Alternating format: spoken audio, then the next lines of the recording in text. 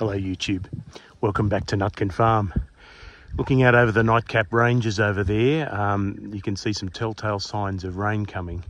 But I thought I'd start this video by um, going back to a tree I showed you a couple of videos ago.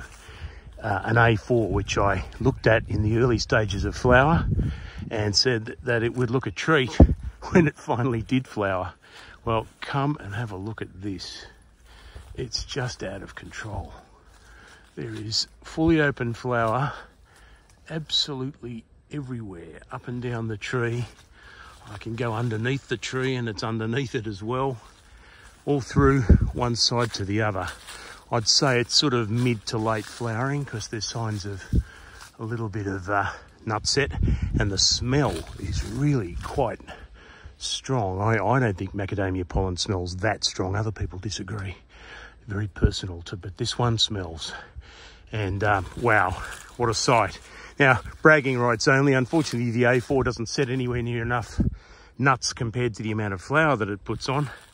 But if you want a flower show to show people, or you want a backyard tree that makes a real splash in spring, this beats any wattle and uh, highly recommended. Anyway, on with the show. And now I'm over here in block six where um, we've got a few rows down the bottom of A16 and their flowering's no slouch either really. Um, there's the, you know, massive display of flowers, of course, combined by nuts that in September 2022 still haven't um, still haven't dropped yet, and some stick tights that could even be from the year before that. Um, so yeah, they put on this massive display, but um, you can't rub your hands with glee because they're not terribly good at turning all that flower into lots of nut. I made a video on pollination last year and there's been some water under the bridge even since last year. Quite exciting research that's been done by Hort Innovation um, on behalf of the AMS and the, uh, the macadamia industry generally. And um, there were, and I think decreasingly now, skeptics on, you know, to what extent cross-pollination had a bearing on um, nut performance. What they've done is they've taken lots of nuts that typically shed. Now, after this flowering period where you see these flowers turn into little baby nuts, trees will typically drop a proportion of their crop on the ground. Now, the theory has always been that the tree is self-regulating. It's only sort of uh, keeping the nuts it feels it can take through to a successful um, conclusion. And that's fine. Um, I still believe that to an extent. But what the researchers did was they actually came down uh, underneath these trees and picked up the shedded nuts and did a DNA analysis on them to see whether they were cross-pollinated nuts or self-pollinated nuts. And the startling answer was most of the nuts that the trees aborted had been self-pollinated. So the tree, if, if it has to drop any nuts, seems to want to drop self-pollinated nuts first. And they cross-checked this by, you know, hand-pollinating trees and making sure that their, their data was correct.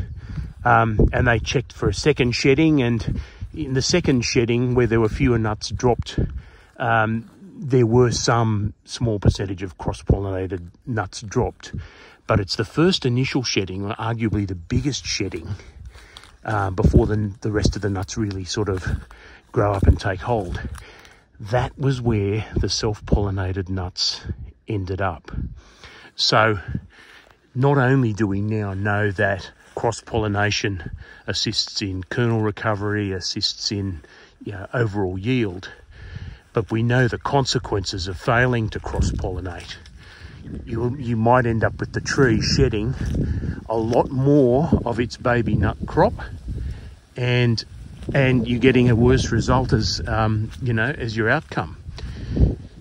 So cross-pollination all the more important um, relative to how it used to be. Now, Nutkin Farms, um, not altogether different from some other farms. there are varieties of trees that do vary among the place. Um, I'm standing here in the middle of three rows of A16s. You can see how generic they are. They're all flowering at the same time and they've got a reasonable flower on. I'm quite happy with what I'm seeing. But they're all A16s. So um, I know now with the research that's been done uh, that A16 isn't particularly good at setting nut.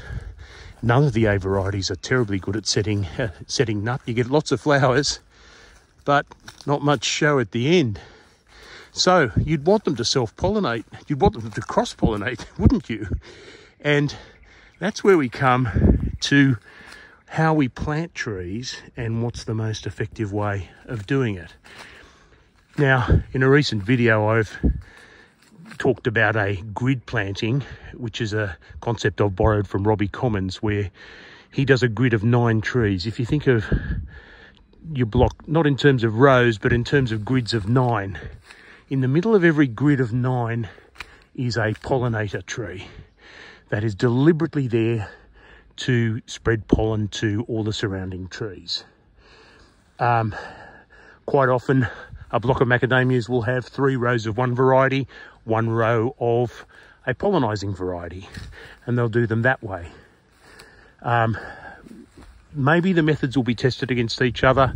I take the view that if a tree is at least even diagonally next to a tree that might pollinate it, it would be better than having sort of three rows of one variety and one row of the next. But there's another catch. The trees actually have to flower at roughly the same time in order to cross pollinate.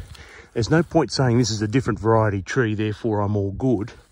The trees actually have to be flowering at the same time, or else bees, you know, won't have pollen to transfer from one tree to the other.